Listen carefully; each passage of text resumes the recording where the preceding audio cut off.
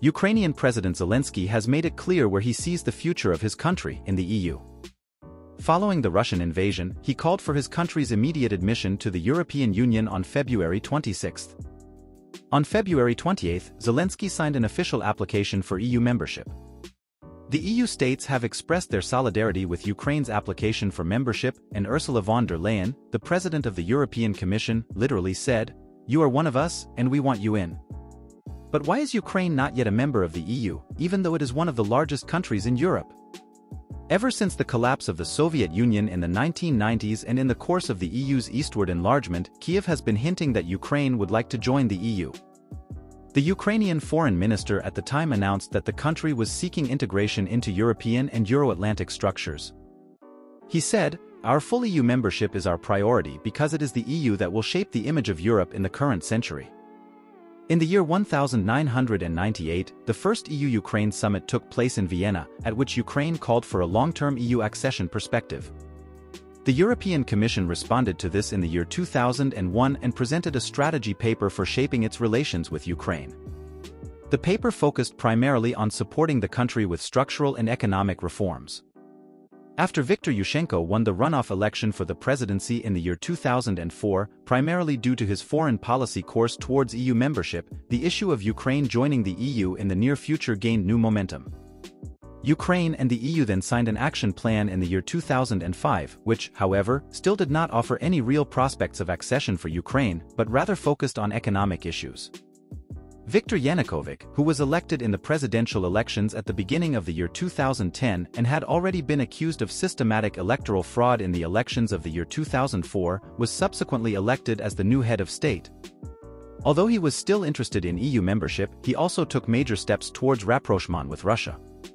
For example, he reaffirmed cooperation in the Eurasian Economic Union formed by Russia, Belarus and Kazakhstan. At the same time, Ukraine also wanted to form an association and free trade agreement with the EU. However, the EU did not tolerate Ukraine's simultaneous membership of an economic union with Russia. Putin, on the other hand, declared that Russia would implement so-called protective measures if an EU agreement was signed. Ukraine therefore had to make a decision. The Ukrainian president decided against an agreement with the EU, which came as quite a surprise to many Ukrainians and led to the months of demonstrations and protests of the so-called Euromaidan. These ultimately led to the fall of Yanukovych in February 2014. The newly elected government concluded the EU agreement, which was intended to promote deeper political ties, stronger economic ties and respect for common values, but at the same time, a civil war broke out in the east of the country and Russia annexed Crimea. With Ukraine now preoccupied with severe internal unrest, it was not until 2018 that the Ukrainian parliament voted to firmly enshrine the goal of EU accession in the constitution. In 2019, this goal was enshrined along with that of joining NATO.